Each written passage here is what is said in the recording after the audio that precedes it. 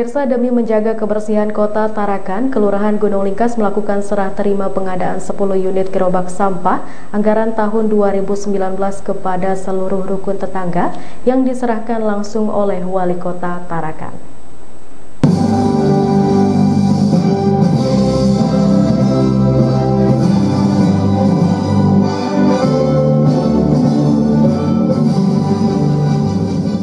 Sebanyak 10 unit gerobak sampah diserahkan secara simbolis oleh Wali Kota Tarakan Dr. Hairul dan disaksikan langsung oleh anggota Dewan Perwakilan Rakyat Daerah Kota Tarakan dan seluruh ketua RT Sekelurahan Gunung Ningkas serta masyarakat setempat. Pengadaan gerobak sampah ini dilakukan oleh Dinas Teknis untuk diserahkan ke masing-masing ketua RT yang ada di Kelurahan Gunung Lingkas sesuai dengan lokasi program sampah semesta.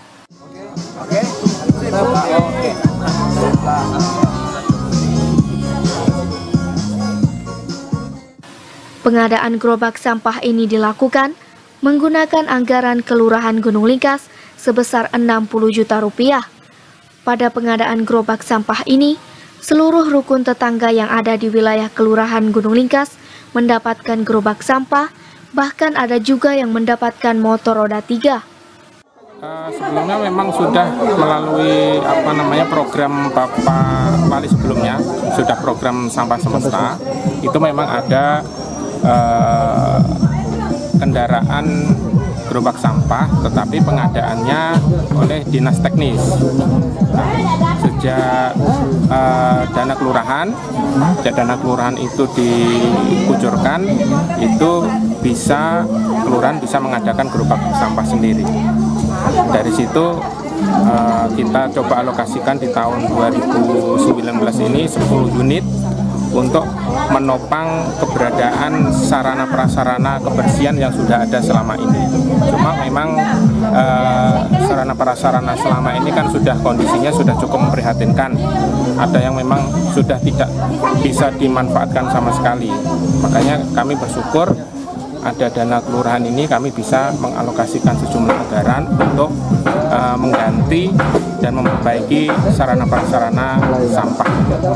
Pengadaan gerobak sampah ini dilakukan guna mengganti gerobak sampah yang sudah dalam keadaan tidak layak pakai dan memperlancar kegiatan program sampah semesta. Selain itu, anggota Dewan Perwakilan Rakyat Daerah sekaligus warga Kelurahan Gunung Lingkas, Maslan Abdul Latif, berharap dengan adanya bantuan pengadaan gerobak sampah dapat bermanfaat bagi warga sekitar guna menjaga kebersihan wilayah Kelurahan Gunung Lingkas. Ya, kami sih berharap uh, kegiatan ini tiap tahunnya ini berjalan terus dengan adanya bantuan dana kelurahan ini, ya kan? Setidaknya dimanfaatkan dengan baiklah oleh warga, ya.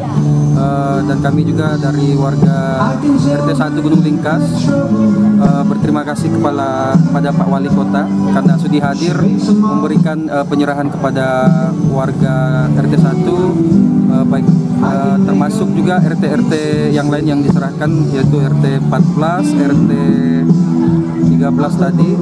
Dan juga kami terima kasih banyak karena dengan adanya dana kelurahan ini selama ini sih berjalan dengan lancar. Hanya saja uh, ada kendala-kendala se uh, seperti uh, kurangnya uh, apa gerobak sehingga penumpukan itu kan kadang sehari itu kadang dua hari itu baru diangkut lagi karena kurangnya gerobak-gerobak sampah. Ke kemarin ini kan RT satu mendapatkan bantuan itu motor motor bak yang tiga roda itu. Tapi itu tidak memadai juga. Dengan adanya bak sampah ini kan uh, saya rasa bisa bisa efisien lagi kan untuk warga nah. Supriyadi TVku Ibu, Ibu